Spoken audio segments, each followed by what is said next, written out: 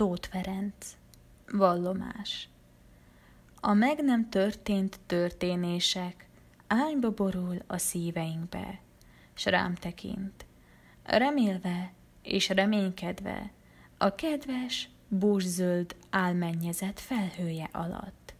Mint egy halvány verébnóta, zenged a sárgarigók éneke előtt, és vén szívemben megremek, határozott szavad, rejtelmes akaratossága, s feldereng bennem eszmélő szeretetem, rád sugárzó minden valósága.